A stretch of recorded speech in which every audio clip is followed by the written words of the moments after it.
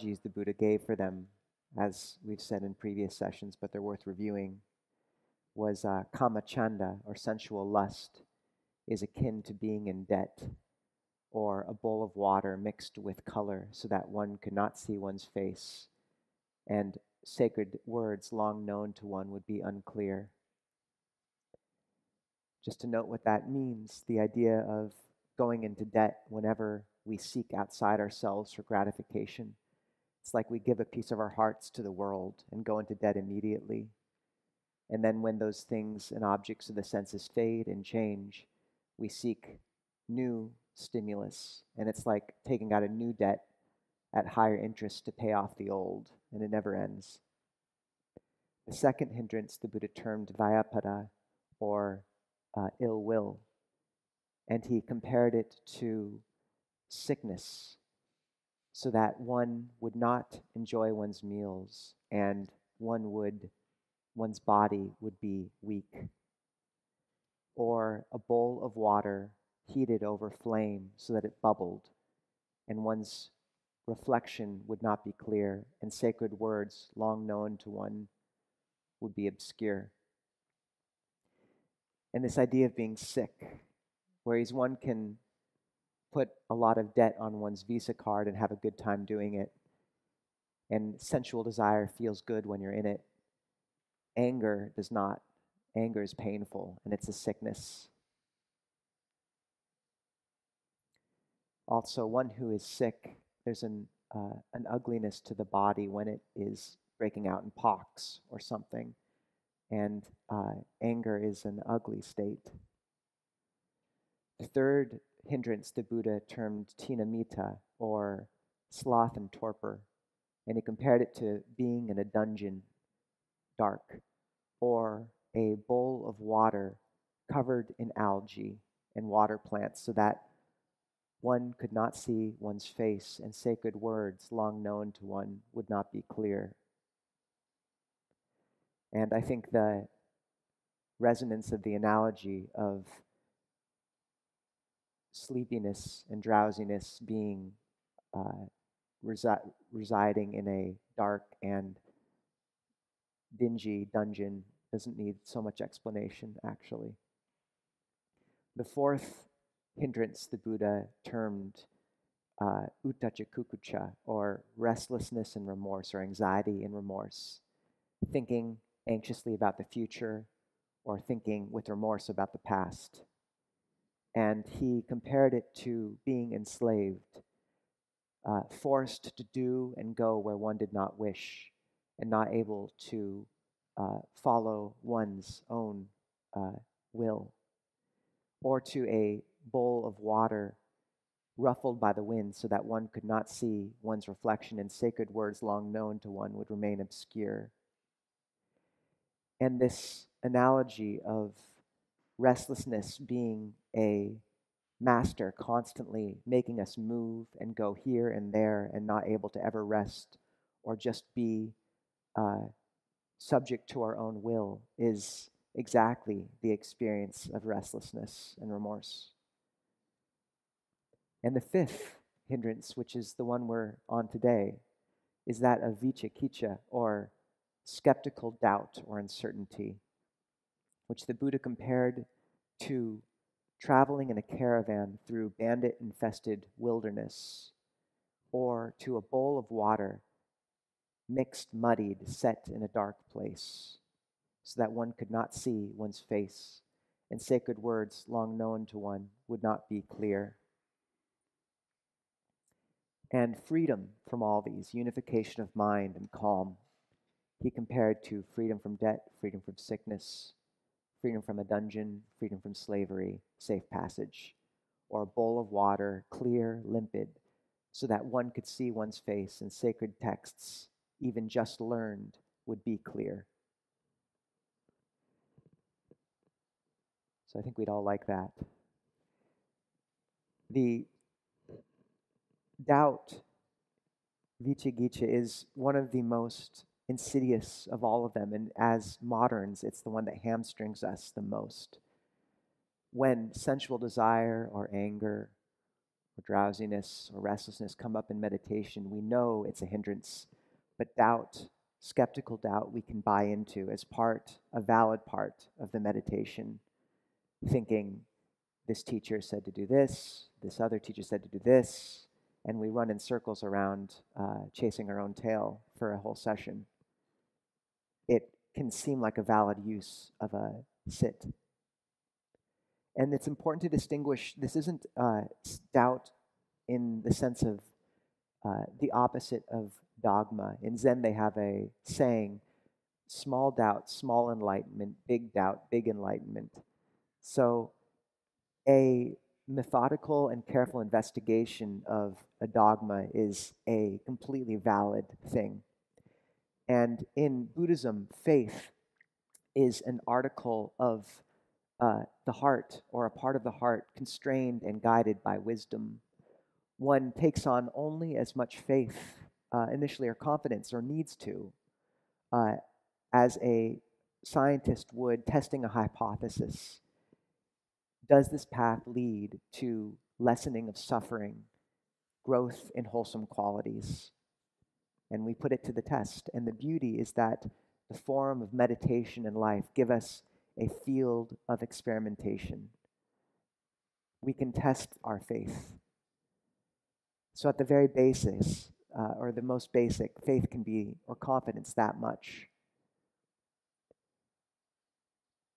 Buddhism does not have a blind faith. But this doubt, the skeptical doubt, is the type that goes nowhere. Doubt is, there's no way through, past doubt through doubt. Not this kind, anyways. And I think we all know that sensation of moving this way and that, proliferating in a way that's not useful and never solves the problem.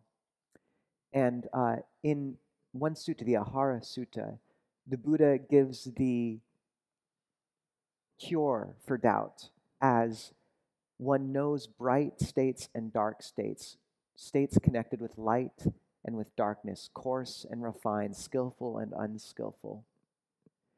And what I take this to mean is that when we are caught in doubt, going to the object of the doubt never solves it, but looking at the state of mind itself does. So instead of looking at the object of attention, can we look instead at the state of mind as dark or light, bright or dark, skillful or unskillful, coarse or refined?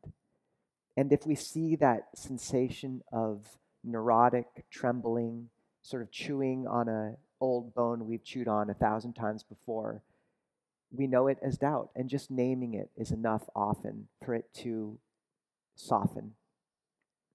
This is knowing dark and bright states in a way that hamstrings doubt.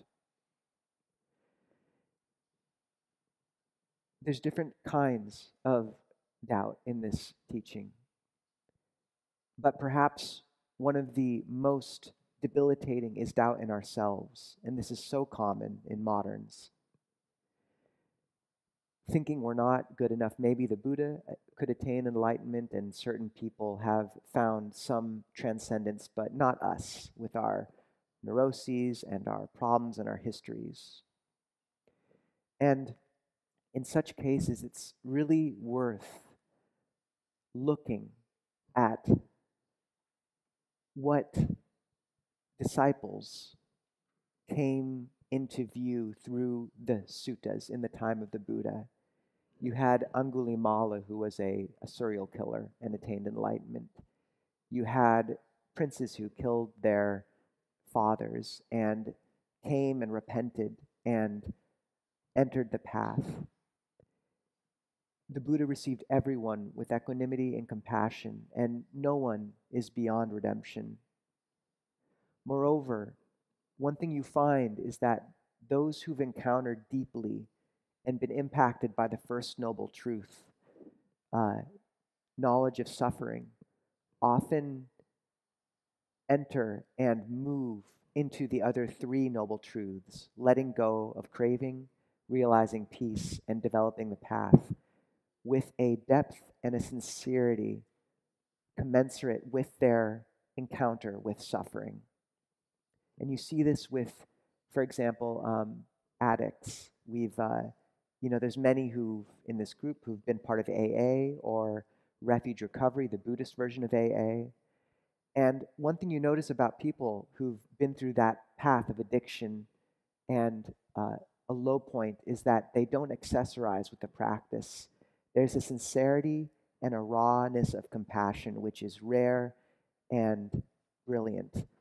And ironically, the path to majesty of spirit is through this humbling of the ego. And suffering, if held with right view, can do that. So even if we've been through uh, trauma, even if we've messed up in the past, the not only does that not a barrier to our awakening, but it can be stepping stone towards it and towards greater compassion in the heart. Suffering breaks us open, and that's what reveals uh, a genuine point of contact with the world. It's why the, it's one of the reasons why the first noble truth was raised up by the Buddha, because suffering is what uh, unites us. Um, in in Thailand, they have a common phrase where they say, "All those around you are your brothers and sisters in birth, aging, and death." So I think one useful way to uh, deal with doubt is to use different upaya or skillful means and what we can look at these, uh, how we can look at these today maybe is through the framework of the Four Noble Truths. So, looking and feeling suffering, dukkha, letting go of its cause, craving, realizing peace, uh, cessation, and developing the path, the Noble Eightfold Path. And so, using this framework or the sort of rough sketch which these Four Noble Truths provide for this more broad picture. Um, we can begin with the first noble truth suffering. Often, uh, the doubts we have are around, you know, what to do in a situation or how to proceed with uh, life. And one really useful metric is just what's bringing up suffering. It can be that simple. I mentioned this last session, but if one has doubt about a certain moral decision, uh, you know, using your friend's Netflix account or parking in a reserved spot, if you're constantly debating whether it's right or not, if you're constantly uneasy about it, that's dukkha. That's a wavering uh, point of stress. And the path is to give that up. So if there's doubt about doing or giving up something, and one knows that one could come to a place of clarity and calm by giving it up, then one gives it up. Because what you're doing is you're seeing suffering and letting it go. Similarly, when people encounter the Dhamma, often there's a real, we fall in love with it and want to pour our whole hearts into it. And often then you read Buddhist texts and the Buddha's admonishing people to, you know, monks to kind of go off alone and renounce. And this is an important uh, you know, admonition to take seriously. And yet, as moderns, many of us are already self flagellating, neurotic people. Uh, you know, what we often need is a sense of being guided by warmth, normalcy, and flourishing. And dukkha, in its forms, can be described as the opposite of all three of those. So instead of warmth, normalcy, and flourishing, is there a sense of coldness, pulling back from people in a way that feels uh, emotionally violent? Is there a sense of withering, of a steady drying up of the heart? Is there a sense not of normalcy, but of kind of contorting oneself? And these are this is so common, and it's almost inevitable. We fall in love with the path, and so we uh, jump right in. But if we sense dukkha manifesting through our practice in those forms, of contortion, withering, coldness. Take note, adjust, let go. Warmth, flourishing, normalcy. That's what we want. That's what we need to aim for. And this is seeing dukkha and letting it go. Another really important uh, point is some people, you know, recently were talking about their jobs, wondering if they were ethical or not, if it was right livelihood. The companies they were part of, you know, were involved with not perfect organizations. And it's important to acknowledge we live in the modern world. Uh, every organization is part of you know, distasteful acts almost. Um, you know, if we pay taxes, we're paying into certain um, actions which maybe we don't approve of. So there's something to be acknowledged there. Um, but at the same time, uh, it is important to take note of the broadening scope of our moral horizon. And one really good way to see that is seeing dukkha manifest in the body when we do something that isn't integrated with our vision and intuitive feeling of who we want to be.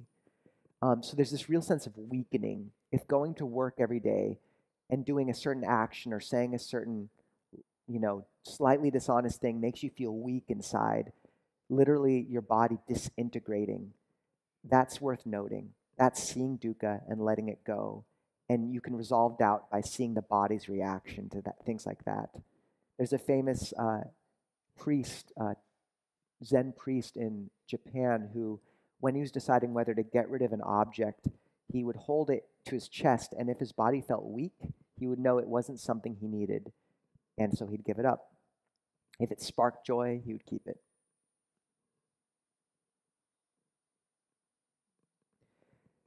And often it's just enough to notice when we're stuck in some suffering debate. Uh, this is dukkha, suffering. Just notice that, how painful it is to be gnawing on that same bone. The second noble truth, craving, being the cause of suffering. So there's something very useful here also in terms of looking at doubt, in that often the question of what will make me happiest, what's you know best for me, it's an arithmetic that never ends. Our own self uh, aggrandizing happiness, it's just something we love to kind of gnaw on and play over, and the doubt never ends around it. And there's days when, you know, I think it'd be really nice to have dinner and go see a movie. So even as a monk, you know, asking what's the, you know, is it right for me to remain a monk or not? I, I've never had serious doubts about that, but that arithmetic can come into play, like what's best for me? And that's based on craving. And it's important to realize that one of the most basic changes in orientation as practitioners is one from feeding off the world to giving to the world. And so often, a question with a doubt invoking answer based on what's ha- best for me will dissolve and become clear when the question becomes, What can I do for the sake of the Dhamma? How can I best serve the world? Because, in terms of, say, remaining in robes, for me personally, that question has always been much clearer. And I think, you know, not everyone will ordain as a monastic, that's fine. But what I'm saying is that question of what can I give? What is best? Uh, how can I best serve? That's a clear, often that's a very clear answer and it'll ring out. The Next thing is that often we aim for perfection in all these external things in our world. We crave uh, perfection. And there's a teacher in Sri Lanka who said that if Buddhism could be summarized in two words, it would be Yavadeva, only for the sake of. All these things, our marriage, our job, our food, our requisites, our life, is only for the sake of the practice awakening, clarifying, and purifying the heart so that we are better servants of the world. And this is such a relief because finding the perfect spouse, the perfect career, the perfect living situation, the perfect body will never happen in samsara. It's always falling apart around us. But is the marriage good enough for practice? Is our job good enough? Is our living situation good enough for the sake of the path? You know, when the Buddhists spoke about the path as a raft, we used to uh, swim from this side of the flood to the other, to Nibbana. We always think of this kind of like Tom Sawyer-ish, like well put together raft. But what the Buddha was talking about is you bind up a bunch of sticks and twigs and you just put it on your chest and then you paddle with your hands and kick with your feet. It's not a Tom Sawyer raft. Most of us don't have Tom Sawyer rafts what we have is a bunch of sticks and our histories and our brokenness and our imperfect relationships and jobs, and that's what we bind together. And it's good enough because part of its power is its brokenness. So that can help. Like when you're thinking about is this situation good enough? Is this relationship perfect? Just is it good enough? Is it good enough for the path? That's the second noble truth of craving, or we can tie it to that for this sake of this framework. The third noble truth, cessation or peace, uh, cessation of suffering or peace. The reason the Four Noble Truths are ordered as they are is it's modeled off of Ayurvedic medicine, where first you have the uh, diagnosis, suffering, the cause, um, then you have the cure, and then the prognosis of the path. But another interesting way to look at the order is that the path, the fourth noble truth, only becomes clear when you've first encountered the third of peace. Rarely from a point and state of agitated mind does clarity emerge.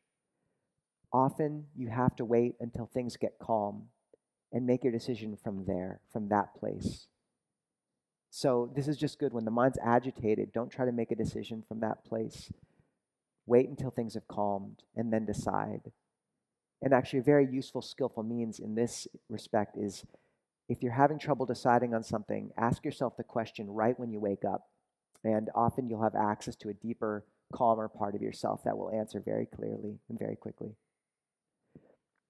And the other point is that this third noble truth of peace, cessation, to recognize that there are points in our lives where we see clearly, where we step into a footstep, a footprint that was made for us, where we know very clearly what is right and worthy and what is trivial. And you, what we need to do is you steer your life from those points.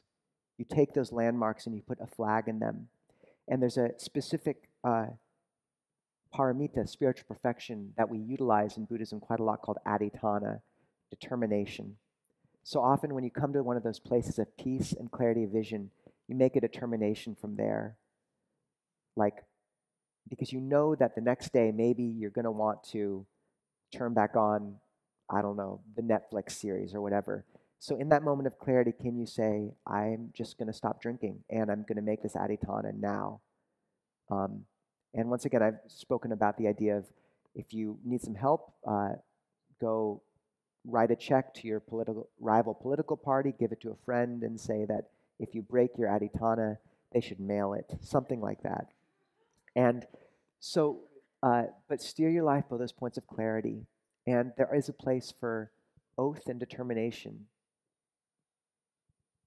The fourth noble truth of the path this is the broadest of all.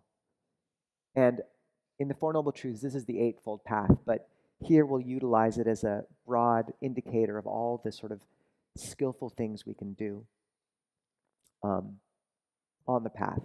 And so, one skillful means the Buddha recollected is, or used and recommended is recollection of death. Because in light of death and realizing the fragility and uncertainty of our lives, often things become very clear. What's trivial and non trivial become very lucidly clear. And the fact that your partner didn't wash the dishes like you wanted them to becomes significantly less important. And meditating every day becomes significantly more important. So often, when uh, people would come to the monastery unsure about ordaining or not, my teacher Ajahn would tell them to just begin recollecting death every day, and that will clarify in your heart what is trivial and non trivial in your life. The other point of the path is recognizing that it's very helpful to have a form. The props are important because we forget too easily where we should orient our hearts and our lives, and the world is not helping us often.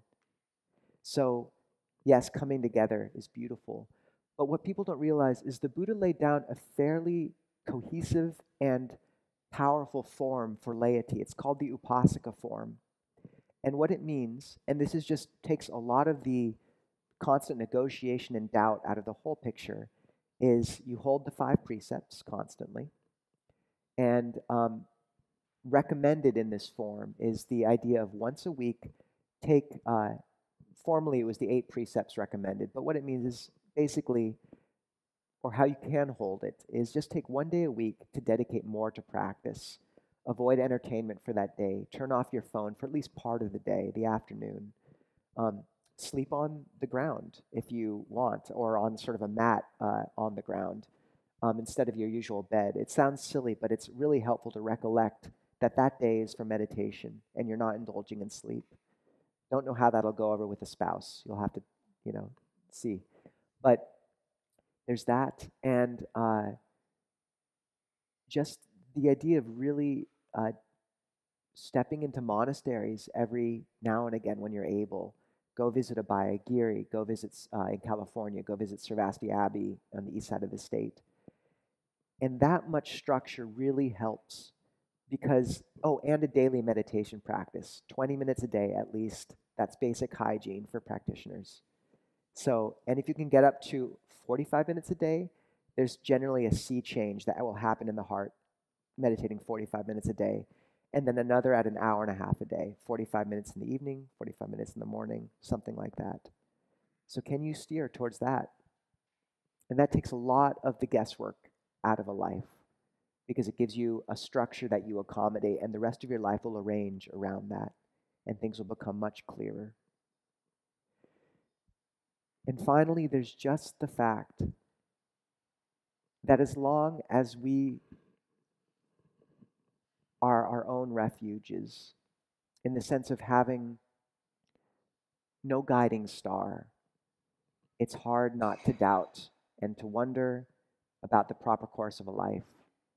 And this is why taking refuge in our potential for awakening is significant. And you can model that explicitly when we bow to the Buddha image, when we uh, pay homage to the triple gem at the beginning of a talk. It's not some superstitious, you know, um, supplication to some deity. It's embodying in an act this recollection of what we are, our potential is. The Buddha is the quality of knowing and the potential, sorry, the potential for awakening for a human being. The Dhamma is truth and the path. The Sangha is what happens when that potential for awakening knows truth and manifests in a human being. So, can you recollect that and really take refuge? And a life when aligned in such a way, becomes a lot simpler. Ajahn Chah said that when we don't understand death, life becomes very confusing. And I would say the same applies to when we don't understand our true purpose, which is awakening. What else would it be? You know, a comfortable middle class life, you know. And not that we can't use a comfortable middle class life for awakening, but it's all for the sake of so, this is doubt spoken about on a broader landscape, coming to settledness. And I would just say that it is worth briefly speaking to what that means in meditation. Just that we really can find ourselves wound, winding in circles around certain uh, questions or neuroses or which technique to use.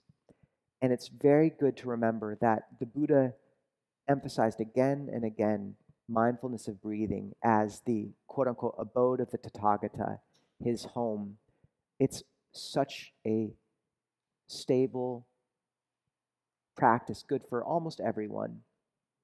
So if you're feeling, uh, and in the Anapanasati Sutta, which is the 16 steps of breath meditation outlined by the Buddha, there's a lot of steps in there. It can get very doubtful, but it's good just to come back to the first four, which are all about just coming into the body, following the breath, and being aware of the whole body. So, whenever you're spinning off in meditation, like what's right, what should I do, you're never going to solve that by thinking about it. So, just come back home. And home is always this body, feeling the breathing and being the breathing, in and out, tracking it. And then once you've come identified doubt, return to the breathing, which is the antidote given to doubt uh, in the commentaries. Then, from there, once things have calmed, you can decide how your meditation should progress. And that's much easier to do when things have calmed down. And finally, it's very useful to come together regularly, once a week or more often if you can, and just be with others who understand this path, to speak about your practice, and to feel supported in uh, a direction and a unification of mind and purpose in life, which is rare in the world. And this is when all the hindrances fade. The quality which emerges, one of them is called ekaggata, which means unification of mind. It's all parts of ourselves in harmony. And this can apply to a meditation, but it can also apply to a life where we feel like we're finally aligned with our purpose, with our deaths, and with the depth of note and profundity of the Dhamma which we have been given and which we have a duty to carry forward with integrity and care. So, best of luck.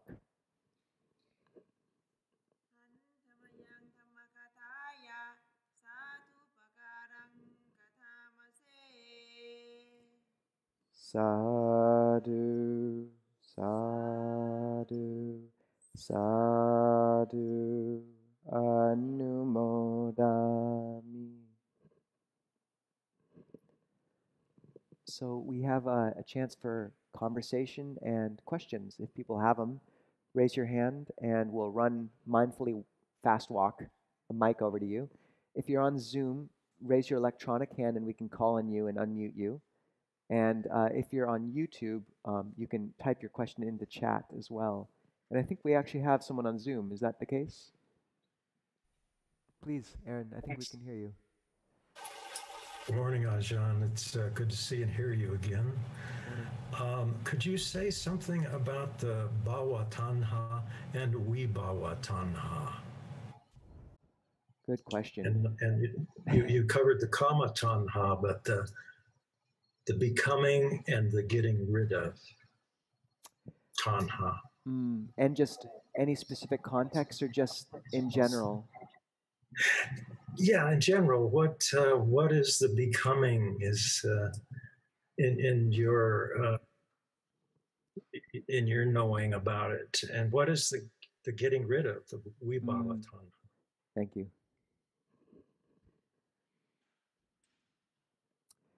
So there are uh, the second noble truth is craving is the source of suffering, and the craving, the word for it is tanha, which means thirst. Um, it's this constant sense of, sense of thirst. And the three sorts of craving the Buddha identifies are kama tanha, which is craving for sensuality. Um, sort of, uh, it, it's feeding off of this sort of buying into uh, and fantasizing about sense pleasures. Then there's bhava tanha, which is craving for becoming. And then vibhava tanha, which is craving to not become or for annihilation. And I think bhava tanha is one of the most uh, powerful forces uh, in that this craving to become, you can really feel it manifest in the uh, motion of the heart towards, um, well, becoming something. And um, it manifests in ways that you wouldn't always expect. Um, for example, like it's it's fairly easy to see how when you get a uh, you know a job offer or um, something like that, like this whole machinery gets set in motion where you're beginning to think about it and play into it. Um, often, you know, uh, when a relationship gets going, I mean, there is kama tanha, sensuality craving in there, but often a lot of it's, you know, wanting to be someone who's loved, uh, wanting to be affirmed as this kind of person, worthy. Um, and the thing is that same kind of desire to become can also uh, really be manifest in um, something like self righteous anger where maybe there's vibhava tanha, craving to push away or uh, shut out something we don't like. But often there's also this huge, um, you know, desire to be the righteous one too. It's all mixed together. And I think bhava tanha, it's, it's very useful to kind of see that self manifesting and its, uh, its feel and its uh, seductiveness.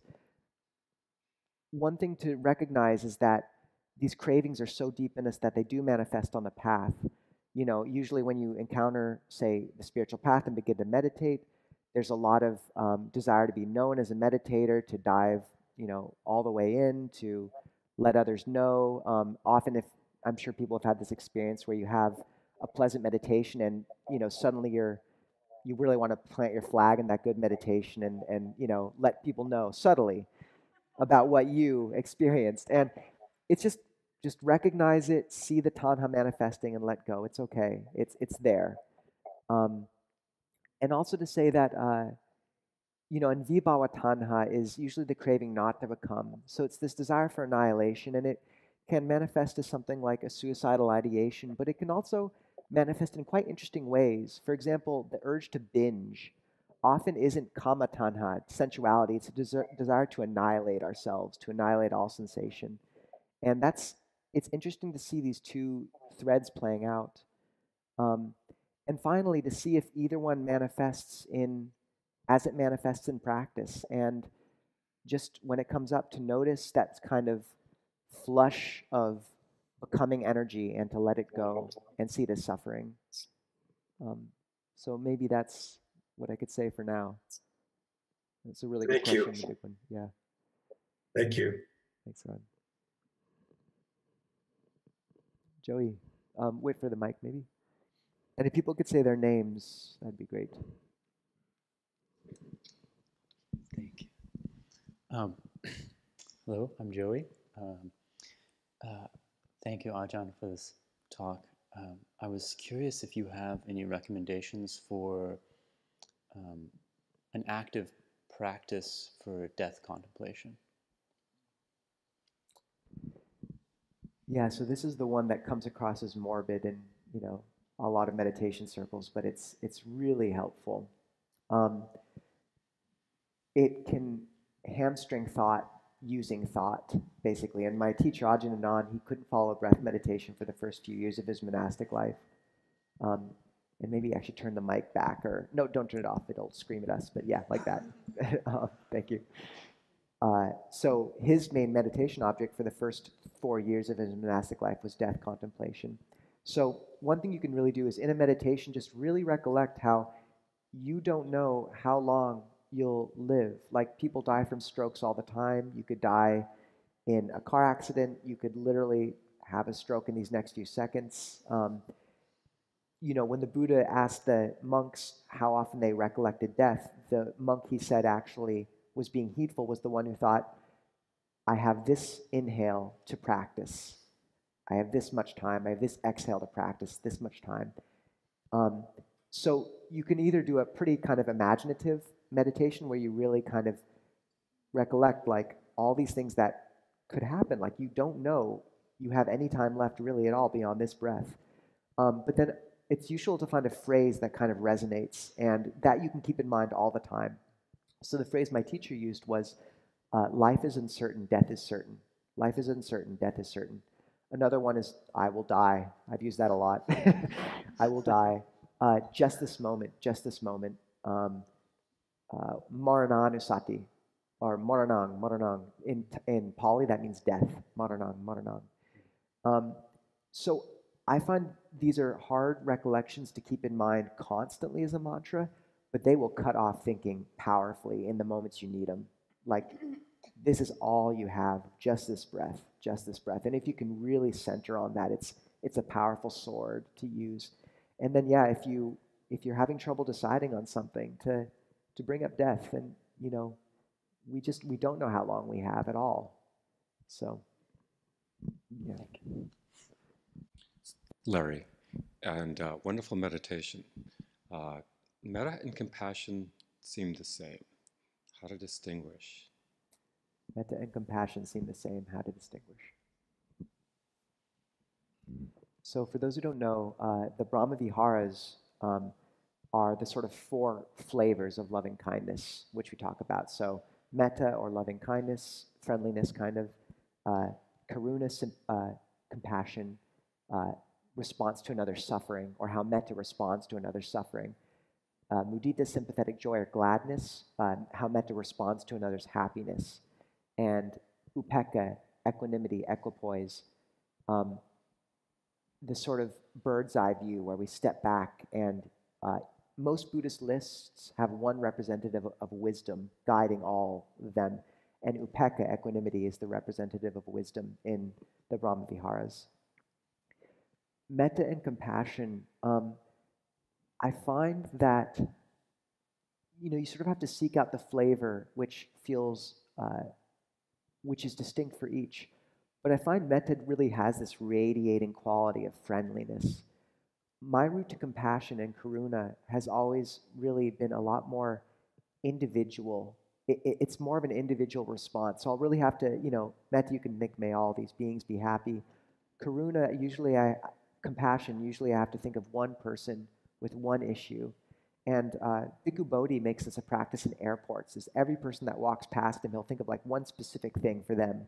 Like, may that person make it to their gate on time. May that person find, you know, love have like a, you know, safe flight, something like that. And I find compassion's just a more, calling it a more humble one isn't quite right, but it's, it's just, I, I find there's a sort of, it's more restrained or, or something. It's, it's quieter. You know, it's, it's the sunlight at dusk.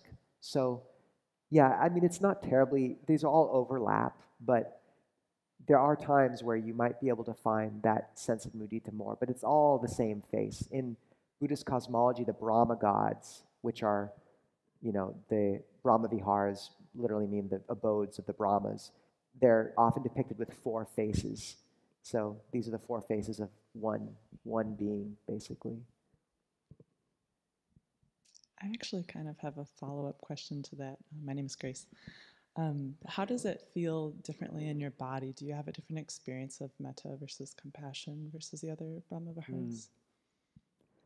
This would be a good conversation subject for the coffee social too. Um, my um, well, first, I think there's something with uh, metta can be a really seductive thing to radiate out and kind of shoot metta rays at people. And we've talked about this often, but like really often what we need to do is is come back and um, first of all have uh, you know often when we're having a hard time we'll try to kind of push the metta out and they'll have this radiating quality where he's you know especially if we're angry at someone and trying to, to radiate metta whereas often like what we need in that moment is just compassion for ourselves because it hurts to be angry and and that's that's the Brahma Viharas, it doesn't really matter who you're aiming them at. You know, it's the quality of the heart. So for me, Karuna is much more in the in the body often, and it's it's sweeter and it's more listening. It's a little less active. Um, and uh, Ajahn Pasanno sort of this could apply to all the Brahma Viharas. He says, like instead of spreading metta out, shrink people and bring them in um, to your heart, and that kind of keeps the field salient. Uh, and I find that's probably especially true with karuna, compassion. But for me, it's just, it, it has a sweeter, sweeter quality. I don't know how to, sort of gentler, sweeter quality. It's humble. Yeah. I don't know. I'll be curious. That is a good question for Q and or for the coffee social. we have to wrap up in just a second, but one more, Matthew. Greetings, Ajahn. It's Matthew. Um, you had talked about craving or tanha. Um, my question is how to how to distinguish what is craving versus just other variations of desire. Um, my understanding is that the craving is what it, what is the cause of, of suffering and kind of keeps us in this um, cycle of suffering. But um, Buddha has talked about other like variations of desire that um, that seem to happen before the craving. And those uh, wouldn't necessarily, since they're before craving, they're not actually uh, the cause of suffering. So, for example, like lust, um, desire, affection, um, thirst, and passion, um, these seem to be variations of desire or craving, or the or things that lead up to the craving. So how, how may we distinguish uh, when we're in these variations versus when we're actually in the craving? Hmm. I'd have to see, you know, the Buddha used these terms slightly differently depending on the sutta. But, but I think what we have time for and what comes to mind most readily around this is the fact that tanha is a note of unwholesome thirst, which we can find in most, in, in, in states to some extent and in many actions running through. The other sort of desire, and, and there is a place, the, the other sort of desire that the Buddha spoke about most often was chanda, um, which means zeal. And in some cases, it's used as kama chanda, which is like uh, desire for sensuality, but often it's used in a wholesome context, like dhammic zeal.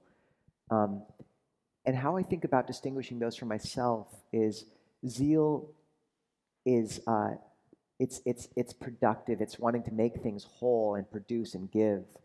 Um, and I think that's why it's so healthy on the path. Um, whereas tanha is much more feeding and wanting and craving, and so it's not not a, a helpful thing to have on the path. Um, and I think they roughly align to the dopamine and serotonin systems. I think zeal is much more dopaminergic, which is like progress towards a meaningful goal is dopamine, which is zeal, whereas serotonin is much more involved with like consumption and consuming. Uh, a lot of serotonin is produced in the gut. So that's a rough answer, but I, I don't think we have time to do any more, and there's probably way more to say on that. So thank you, Matthew.